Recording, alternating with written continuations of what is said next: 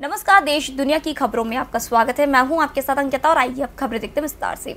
अमित शाह ने लिंगायत और वी शेव लिंगायत मुद्दे को लेकर यह साफ़ कर दिया है कि उन्हें अलग धर्म का दर्जा केंद्र सरकार नहीं देने वाली है। अमित शाह ने कहा है कि लिंगायत समुदाय के सभी महंतों का यह कहना है कि समुदाय को बटने नहीं देना है।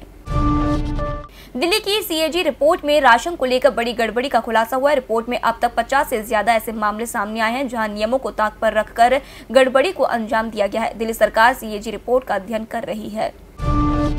एस सी एक्ट में बदलाव के बाद 2 अप्रैल को दलित समुदाय द्वारा जो भारत बंद बुलाया गया था, उसमें काफ़ी हिंसा हुई। अभी दो दिन बाद भी इस हिंसा का असर देश के कई हिस्सों में दिख रहा है। बुधवार को मध्य प्रदेश के ग्वालियर ज़िले के महाराजपुर थाना इलाके में कर्फ्यू में थोड़ी ढील दी गई है। जम्मू कश्मीर को विशेष दर्जा दिलाने वाले संविधान के आर्टिकल 370 का मामला एक बार फिर चर्चा में आ गया है। मंगलवार को सुप्रीम कोर्ट ने मामले की सुनवाई के दौरान कहा कि जम्मू कश्मीर को विशेष दर्जा दिलाने वाले संविधान के आर्टिकल 370 अस्थायी प्रावधान नहीं है। अमेरिका में कैलिफ़ोर्निया के सैन बुरोनो में यूट्यूब मुख्यालय पर बड़ा हमला हुआ है। खास बात यह है कि यह हमला एक आत्मघाती महिला हमलावर ने किया है। इस हमले में कई लोगों के घायल होने की खबर है। पुलिस की जवाबी का फायरिंग में महिला हमलावर भी मारी गई है। खबर यह भी है कि उसने खुद की जान दे दी।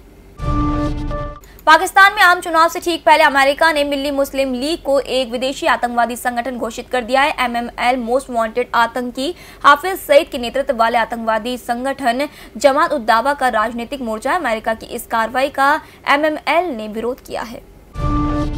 इराक के मोसूल में मारे गए उनचालीस भारतीयों की मौत को लेकर भारत सरकार के खिलाफ दिल्ली हाई कोर्ट में एक अर्जी लगाई गई है। इसमें कहा गया है कि मौत के लिए भारत सरकार दोषी है। लिहाजा कोर्ट अपनी निगरानी में एक कमेटी बनाकर इस पूरे मामले की जाँच कराए। ग्लोबल मार्केट से मिले जुले संकेतों के बीच घरेलू शेयर बाज़ार हल्की बढ़त के साथ खुला। कारोबार के शुरू में सेंसेक्स अड़सठ अंकों की बढ़त के साथ तैतीस और निफ्टी बाईस अंक की बढ़त के साथ दस के स्तर पर खुला। भारतीय क्रिकेटर गौतम गंभीर ने मंगलवार को पाकिस्तान के पूर्व ऑलराउंडर शाहिद अफरीदी का मज़ाक उड़ाते हुए उन्हें अपरिपक्व व्यक्ति करार दिया। दोनों के बीच छिड़ी ट्विटर वॉर को लेकर भारतीय और पाकिस्तानी फैंस ने सारी हदें पार कर डाली। फैंस इन ट्वीट्स को लेकर गाली गलौज पर भी उतर आए। सलमान खान की फ़िल्म रेस थ्री का एक सीन लीक हो गया। इस सीन में वह बाइक स्टंट करते नज़र आ रहे हैं। इस रोमांचक सीन में सलमान भाई को गिरते हुए पेड़ के नीचे से बाइक निकाल कर ले जानी है। फ़िलहाल इस बुलेटिन में इतना ही। आप बने रहिए एम टीवी के साथ। नमस्कार।